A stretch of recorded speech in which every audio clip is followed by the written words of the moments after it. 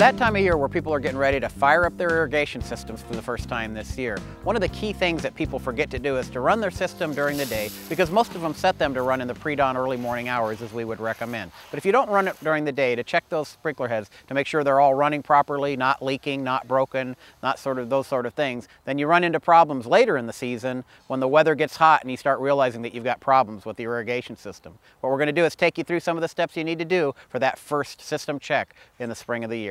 Set your irrigation clock to a manual setting so you can run through each one of the stations one by one, once again to make sure all the heads are standing up properly or popping up out of the ground correctly. What we're going to see is a number of heads that have issues for this upcoming season and what you need to do to properly set them for the, the year. It may be something as simple as the head got turned during the year because of the freezing and thawing cycle, and if that's the case, simply tighten that head down and make sure that the spray is falling on the grass and not on the sidewalk because Contrary to what people think, we really don't know how much irrigation water a sidewalk needs to stay alive. The other steps that you need to take care of is sometimes the head will pop out of the ground and it'll get buried in snow and moved around the lawn. And if you haven't mowed yet, you may not have come across that head, but you'll get something that looks like Old Faithful as it comes out of the ground. It's a little bit of a geyser. This is an immediate problem, but it may not be identified if the system is, is run during the daytime. Other things that can happen is algae, other debris can get caught up inside the head itself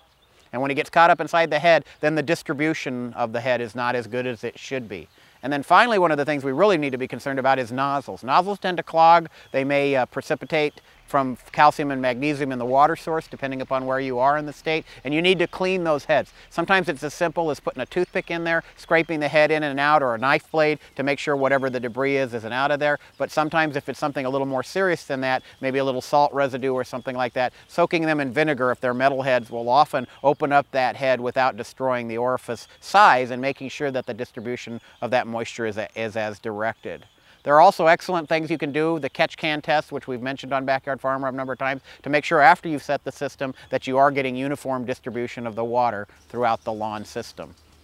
This is a critical notion this time of year because once again, if you don't do it now, by the time you realize you've got problems with that particular setting, with that particular head in, in and around your lawn, it's going to be too late. We come into that time of year where many of the suppliers especially the mass merchandisers, the home improvement stores, probably don't have as good a stock as they should to replace the head or to replace the parts in the head that you need. And also this is the time of the year when the commercial irrigation installers are very, very busy and they're having trouble keeping up and they may not get out to your lawn before you've got a serious drought problem in and around the lawn.